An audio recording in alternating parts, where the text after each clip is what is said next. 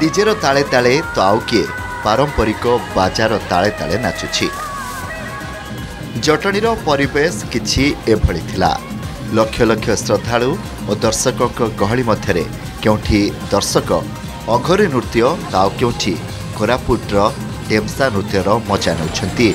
ଭଳି ନୃତ୍ୟ ସହିତ ବିଭିନ୍ନ ବେଶ ଓ ଚିତ୍ତାକର୍ଷକ ନୃତ୍ୟ ପୁରା ପରିବେଶକୁ ଚାରଚାନ୍ ଲଗାଇ ଦେଇଥିଲା। ଜଟଣୀରୁ ଏ ଦୃଶ୍ୟ ସମସ୍ତଙ୍କୁ ଝୁମେଇବା ସହିତ ନୃତ୍ୟର ତାଳେ ତାଳେ ନାଚିବା ପାଇଁ ବାଧ୍ୟ କରିଥିଲା।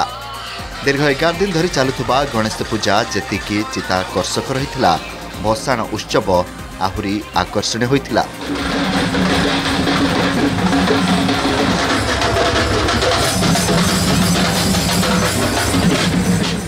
ଏଠି ହଜାର ହଜାର ସଂଖ୍ୟକ କେବଳ ଜଟଣୀ ନୁହେଁ ସାରା ଓଡ଼ିଶାରୁ ଏହି ଜଟଣୀର ମହୋତ୍ସବକୁ ଦେଖିବା ପାଇଁ ଆଜି ଦଣ୍ଡାୟମାନ ଥିଲେ।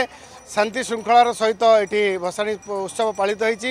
ଭାରତୀୟ ଜନତା ପାର୍ଟି ଜଟଣୀ ତରଫରୁ ଏକ ମଞ୍ଚର ଆୟୋଜିତ କରାଯାଇଥିଲା ଯେଉଁଥିରେ କି ବିଭିନ୍ନ ମଞ୍ଚର ସମସ୍ତ ଯେଉଁମାନେ ସଭାର ଯେଉଁମାନେ ଥିଲେ ପୂଜାର କମିଟିର ମୁଖ୍ୟ ସେମାନଙ୍କୁ ଆମେ ସମର୍ଦ୍ଧିତ କଲୁ ଏ ମଞ୍ଚରୁ।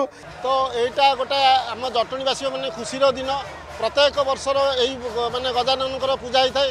ଏ ଯେଉଁ ଭସାଣୀ ଉତ୍ସବ ଏଇ ଯେଉଁ ହେଇଛି ତାର ଭସାଣୀ ଉତ୍ସବ ପ୍ରତ୍ୟେକ ବର୍ଷର ବହୁତ ଜଟଣୀର ଆଖପାଖ ଲୋକ ଆସନ୍ତି। କାରଣ ଭସାଣୀ ଉତ୍ସବଟା ବହୁତ ଆନନ୍ଦର ସହିତ ଲୋକମାନେ ତାଙ୍କୁ ଗ୍ରହଣ କରିଥାନ୍ତି।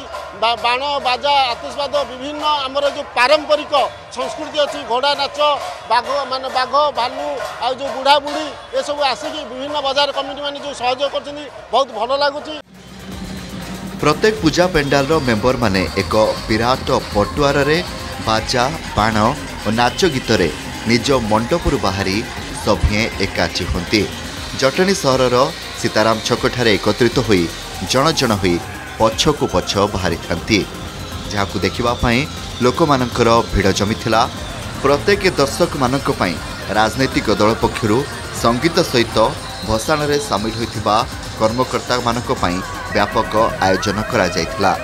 ମିନି ଇଣ୍ଡିଆ ଭାବେ ପରିଚିତ ଭାଇଚାରାର ଏହି ଜଟଣୀ ସହରରେ ସବୁ ଜାତି ବର୍ଣ୍ଣ ନିର୍ବିଶେଷରେ ସଭିଏ ଏକାଠି ହୋଇ ଏହି ପୂଜାକୁ ପାଳନ କରିଥାନ୍ତି। ଜଟଣୀରେ ସବୁବେଳେ ବହୁତ ଧୁମଧାମରେ ଭସାଣି ହୁଏ ବହୁତ ଏନ୍ଜୟ କରୁଛୁ ଆମେ ଆଉ ସବୁବେଳେ ଏମିତି ଏକା ଭସାଣି ହଉ ଆମେ ଏଇଆକା ଚାହୁଁଛୁ। ବାଜା ବାଣ ଗୀତ ସବୁଥିରେ ମଜୁସ୍। ଆଉ କୌଣସି କାହାର ବି ଅସୁବିଧା ନାହିଁ।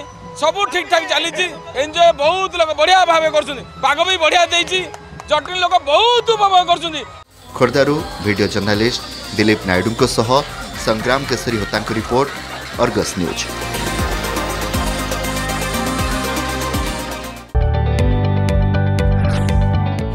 ଯଦି ଆପଣଙ୍କୁ ଆମ ଭିଡ଼ିଓଟି ଭଲ ଲାଗିଲା ତେବେ ଆମ ଚ୍ୟାନେଲକୁ ଲାଇକ୍ ସେୟାର ଓ ସବସ୍କ୍ରାଇବ୍ କରିବାକୁ ଜମା ବି ଭୁଲନ୍ତୁ ନାହିଁ